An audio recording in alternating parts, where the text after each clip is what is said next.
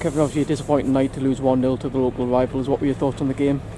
Yeah, of course, naturally disappointed. Uh, I think first and foremost, you don't want to lose any football match, but certainly to your local rivals. Um, disappointed with quite a few things this, this evening. I felt we, we, we looked flat.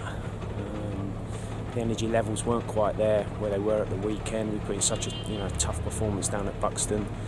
We just couldn't quite reproduce it here this evening, so uh, naturally disappointed couldn't really build any pressure in that second half. Tried to get a lot going, but couldn't quite keep the ball. Was that the, was that the key there that you couldn't yeah. keep the ball? Yeah, I think you know when you're playing, there's no excuse because the surface is incredible, um, and you know that was a message at half time. The speed of ball, can we move it? Can we can we uh, get uh, can we can we get lots of options on the ball for, for the man that's on the ball?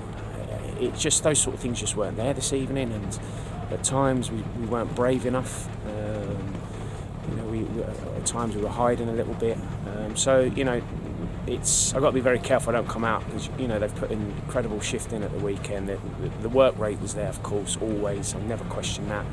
You just need to be a little bit more brave, especially when you're playing a local derby. You know, I said to him before, and it's about the team that is brave. It's the team that keeps the ball calm.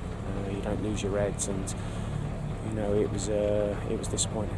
As we fell behind about midway through that second half, was the, the reaction to that not quite what you were looking for? Yeah, I was expecting. I think you know it was just I said at half time. You know, I could, it just I could just sense.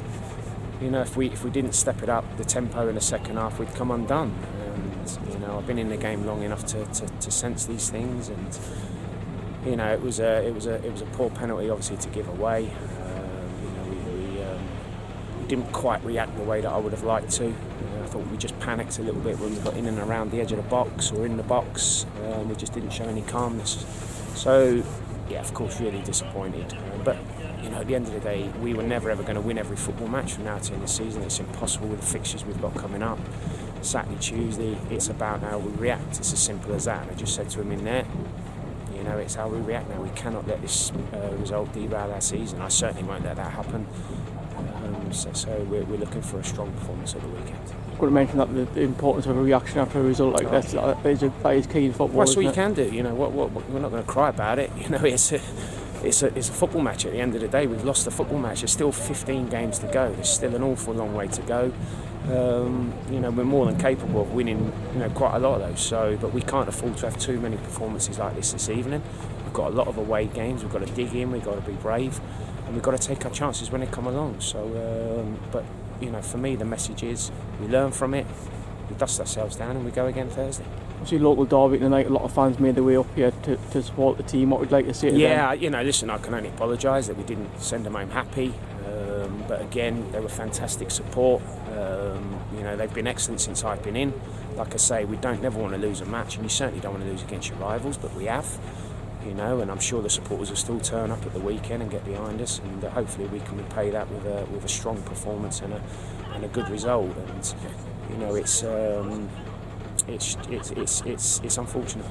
I hope on, on Saturday they're mid-table. I'm sure you'll be expecting a, a really tough battle at, at home. Oh, every game's going to be a battle. I just said to him in there because it's because it's us. It's South Shields. You know, it's a big scout for everyone in the league, and the players have got to get used to that. You know, you've got to you've got to you know you've actually got to take that on board and enjoy it. Um, you know, teams really want to come and beat you. So, you know, we're the home team at the weekend. You know, we're more than capable of winning a football match, but we've got to do things a little bit better. To finish with a couple of injury questions, obviously Jordan Hunter came off towards the end there. He took a couple of really late challenges towards the end. How's he at the moment? Yeah, he'll be fine. He's um, he probably could have stayed on, but you know, we just wanted to get another attacker on the pitch. He was limping a little bit, but you know, he, will recover tomorrow, and, and, yeah, I'm sure he'll be fine for the weekend. JJ and Cedric, do you think they'll be closer for Saturday? Yeah, uh, I'm hoping. I'm hoping they'll train Thursday. They've told me they'll train Thursday, so going into to Saturday's match, it looks like we'll have a full squad apart from from Rossi, uh, Callum Ross, uh, who's you know, long term at the moment. But apart from that, yeah, I'm hoping to, to have a full squad to pick from.